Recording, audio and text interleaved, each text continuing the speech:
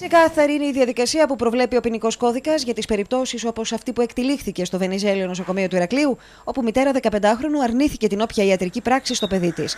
Η γυναίκα της οποίας το 15χρονο παιδί μεταφέρθηκε στο Βενιζέλιο από το νοσοκομείο Χανίων την περασμένη Παρασκευή, την Κυριακή μετά τις αντιδράσεις της και μετά την ενημέρωση του εισαγγελέα, συνελήφθη και κρατήθηκε μέχρι χθες στο πρώτο αστυνομικό τμήμα, ενώ με εντολή πάλι η εισαγγελέα φέθηκε ελεύθερη και θα οριστεί τακτική δικάσιμος. Η έννοια της επιμέλειας έχει να κάνει με τη φροντίδα φροντίδα, την, την προστασία του ανηλίκου από τους γονείς του ή του έχοντος την επιμέλεια τέλος πάντων.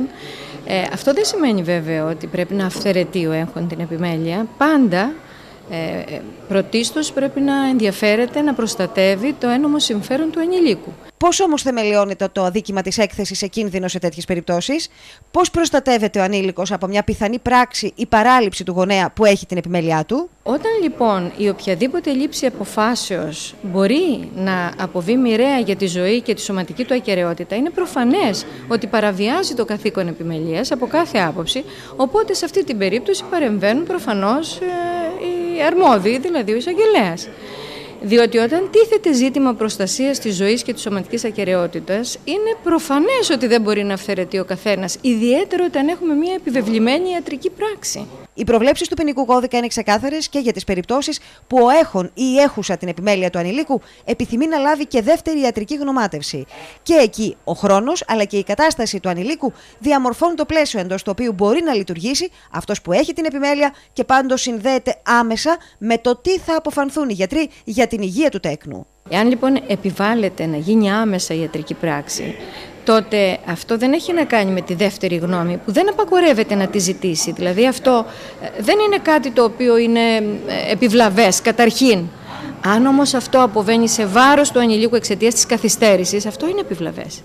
Η 43χρονη μητέρα, όπως δήλωσε στην Κρήτη τη βιοδιοικητή του νοσοκομείου, ενώ τόσο το παιδί όσο και ο πατέρας έδειχναν να συνενούν στα όσα έκριναν οι γιατροί, η ίδια αντιδρούσε στεναρά. Από την Παρασκευή που μεταφέρθηκε στο Βενιζέλιο ως την Κυριακή, οι θεράποντες ιατροί, αφού έκριναν ότι αδυνατούν να συνεργαστούν και ότι στο παιδί επιβαλόταν να γίνουν άμεσα συγκεκριμένες ιατρικές πράξεις για την ασφάλειά του, μέσω των αστυνομικών αρχών ενημέρωσαν τον εισαγγελέα, ο οποίος διέταξε τη σύλληψή της. Η γυναίκα φέθηκε χθες Δευτέρα ελεύθερη, ενώ η εντολή του εισαγγελέα για περαιτέρω διερεύνηση της υπόθεσης συνοδεύθηκε από τη διαβίβαση της δικογραφίας και πιθανά τον ορισμό δικασίμου. Η μητέρα του παιδιού προέβαλε αντιρρήσεις και ισχυριζόταν ότι του κάνουν κακό στην υγεία.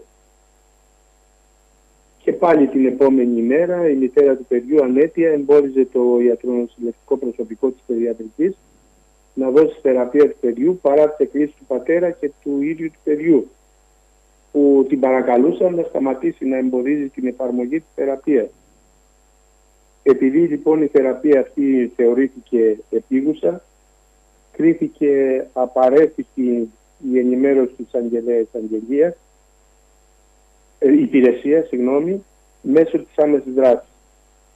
Ε, ζητήθηκε από τον Εισαγγελέα η κράτη της μητέρας στο αστυνομικό τμήμα, προκειμένου να συνεχίσει η αγωγή στο παιδί.